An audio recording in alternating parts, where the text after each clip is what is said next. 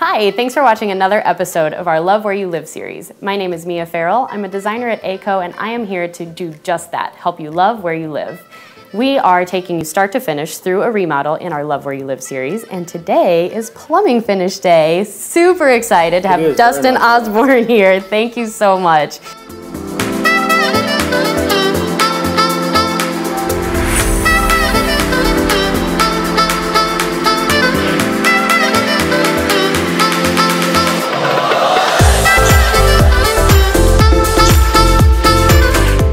Are getting this kitchen back up and running today. Very excited to get some functionality in this space. It'd be nice for the client. Yeah, for sure. So let's go back in time a little bit to Okay. Rough-In Day and we'll talk about kind of what it took to get us here. Okay, when we first uh, showed up, we noticed that there was a couple of different issues that uh, we had with the plumbing. Yeah. One, we had a vent that was coming out of the wall that because of a bulkhead, they made an easier route. Yeah, So for we- sure. We wanted to. We always wanted to get the bulkhead out, right? Yep. People want nice taller cabinets that go to the ceiling. Get that bulkhead out of there, but there's always something in it. Yep. So we found the plumbing that we had to move. Absolutely. So we were able to route that back up so we could have a nice clean finish. Yeah, that's great. And so another part of the design that we had was a farmhouse sink. Yes. So tell me what we have to consider when we're selecting a sink like that. So the biggest thing when we're selecting, when you're selecting a sink like that, is the height of the drain. Yeah. We have to account for the garbage disposal and the, the tallness of the sink Mm-hmm. or the depth of the sink, so we can plumb the drain to where it hooks up perfectly. Yeah, one of the things that we do on the front end is kind of take note of where the plumbing is, take some photos underneath the cabinet, and get some measurements so that we um, know what all we have to do going Absolutely. into it.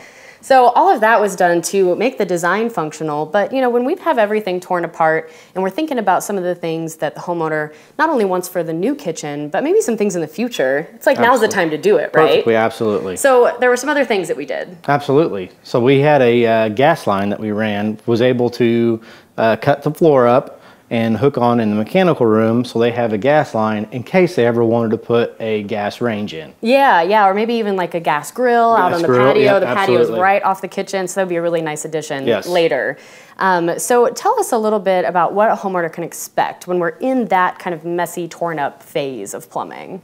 Well, obviously a lot of dust. we're, Yeah. we're cutting up a, uh, some flooring. We're we're pulling some pipes out. You know, you're, ops, you're obviously going to have water off for an extended period of time. Sure. Sometimes it could be an entire day. Sometimes it's just a couple hours here or there. Okay, yeah. Um, the other thing that you really got to watch out for is, is when you're opening floors up, you come across sometimes the unexpected, yep. and those unexpected can lead to other price inc- increases. Yeah, absolutely. One of the things that we like to do on the front end is try to uh, get some context clues of the space so we can account for some of those things Yep. ahead of time. But you know, even with our years of experience and all of that, unfortunately, we don't have X-ray vision. So our change order guarantee does help homeowners in those kinds of situations, um, but they do happen. Yes, they So- do.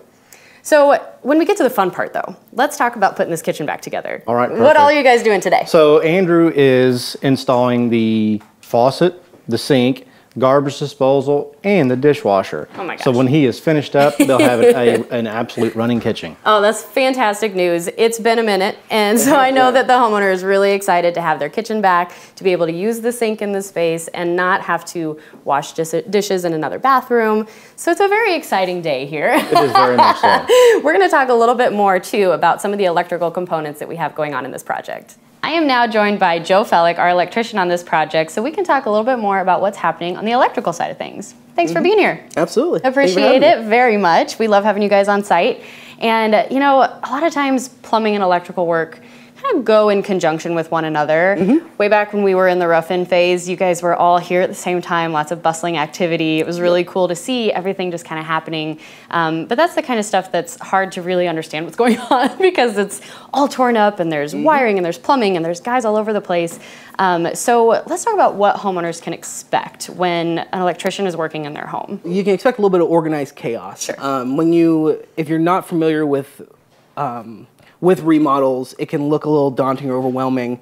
Um, between cutting holes in drywall and drilling drilling through studs and through through your wall or through your ceilings um, to get the wiring ran, it it's overwhelming for some people. Um, but it's all done in a professional manner to get a beautiful finished product. Um, we work really hard on the pre-construction to know exactly what we're going to expect.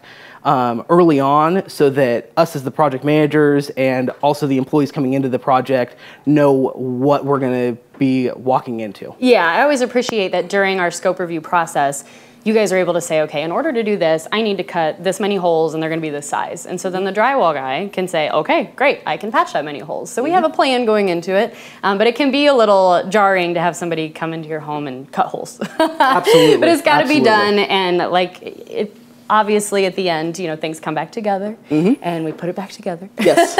so the, the, the when it all starts, it gets a little wild, but as we work through the process and get everything done as far as mechanicals go, drywall comes in, and before you know it, cabinets are in, and it's a it's looking more like a kitchen. Then you get your, Yeah. ca- your your countertops in.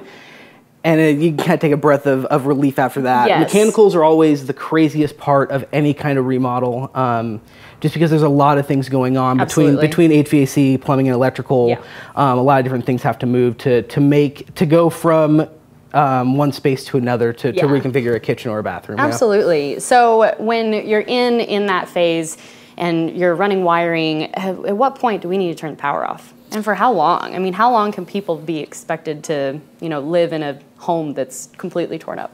yeah. So typically, you're only going to have power off for the days that we are there working. Sure. Um, very rarely do we ever run into a situation where we have to leave power off after we've left. Um, we safety things off. We can put things in boxes. Um, we protect the wiring so that no one can get hurt or, or anything can get damaged. Um, so that you're not without your living space. Right. No one wants to walk in after work, go to turn on their lights in the living room, and they don't turn on. Yeah. Many different stages of wiring over the years, depending on what age your home is. It can all depend on how much wire, how much power gets turned off in the house. Um, but we we work really hard to make sure that you are not without the rest of your home during the renovation. Um, right. Especially this day and age with people working from home and that Mm-hmm. kind of thing. There's so many people that are at home during a remodel. So having those considerations in place is really important. That is actually something that I bring up when we when we start any renovation. Is is anyone working in the house, Yeah. and where's your router at, so that we can make yeah. sure either it's only off temporarily, Yeah. or we can run an extension cord to it to make sure that you're you're able to still work. The last thing we want to do is have you not being able to work while we're in there. Right. there. Although some people might like the excuse. you know, and we can do that too. write a little note, it's fine.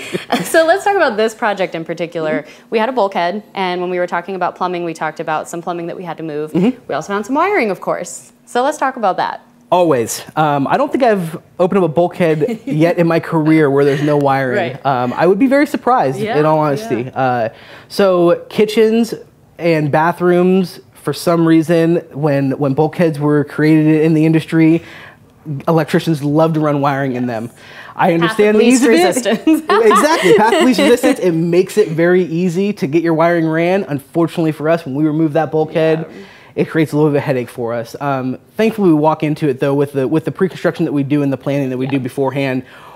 Most of the time, we know exactly what we're going to run knew it was into. Um, yeah, we're, we're and we also probably one of the biggest things we always look to where the panel is at. Yep. The panel is way on the other side of the house. We have a pretty good chance that there's not going to be a ton in there. Mm-hmm. Um, but until we actually get it open, we, we just don't know. Yeah. And another one of the things that we did, in, very specifically on this project, um, we had a central light fixture in the middle of the kitchen. Mm-hmm. And instead of that central light fixture, we came in with four can lights. Mm-hmm. Um, and one of the things that, that we used was a nice little thin Yeah, wafer can light. light. Yeah, so that we can have a little bit more flexibility on where we put them, right? Yeah, so I mean, I, I consider this still new technology. It's been around for a couple of years, but these lights are awesome. Um, they are UL listed to go right into the ceiling. They have a junction box already attached to them that converts it over to low voltage.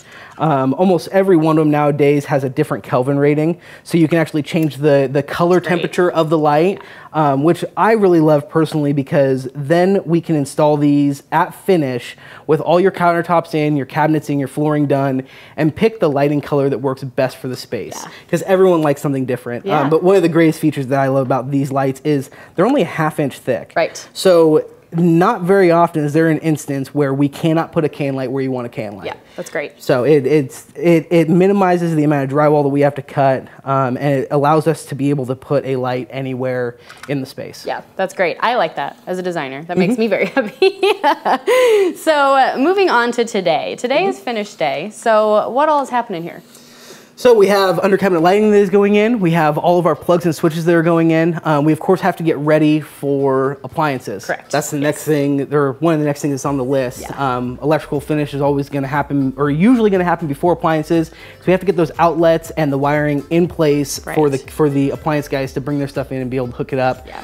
So you can go back to having a more functional kitchen. Yeah, just day by day, things get more and more functional over here. So this mechanical finish day is very exciting. We appreciate having you to partner with. Thanks so much for being here, and just keep following along with our journey to get to the end of this, uh, this beautiful kitchen remodel and transformation.